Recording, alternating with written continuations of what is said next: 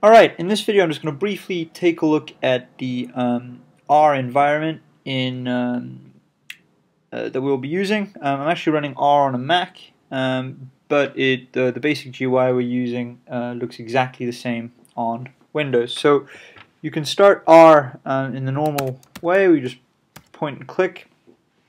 On Windows, I like to use Spotlight on a Mac. And um, this is our uh, our console. So here we have the, the, R console, and this is basically R. And here we have a script editor window, and I'll I'll get to that in a little bit. So this R console, we you can just use to uh, to type in code, and I can just press the the up button to get a previous command.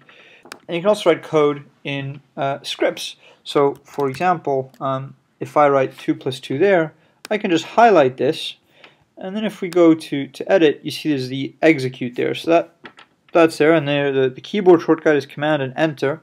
Um, and on Windows the keyboard shortcut is control and R. So if I press command and enter and if you keep an eye down there um, it is just running the code. Um, all this is actually doing is just copying and, and pasting the code from there to there and, uh, and running it